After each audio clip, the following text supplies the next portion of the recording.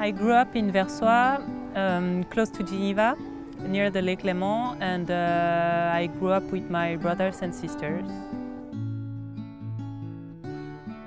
I played um, the flute for uh, more than 10 years, so I ended up having a, quite a good level. I think I should have probably worked a little bit more at school because I wasn't so interested at this moment.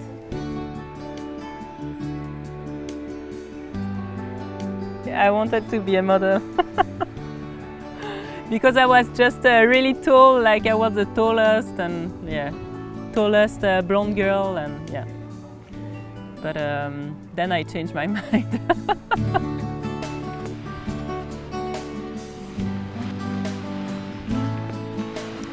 I would say when I was a, a child, I, I wouldn't have said that I was a competitor.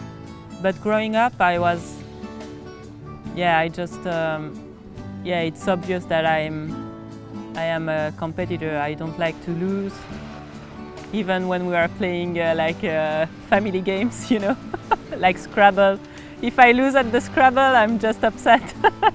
just stupid things, but um, yeah, I like to I like to win.